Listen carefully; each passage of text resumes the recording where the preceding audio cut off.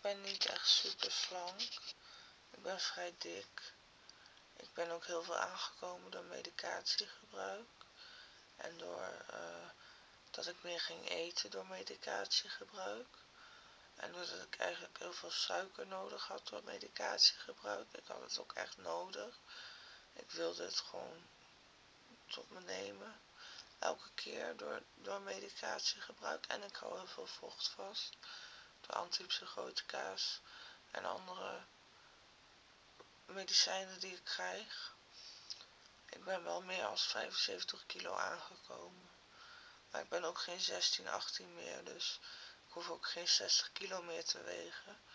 Maar toch, het is wel veel in gewicht.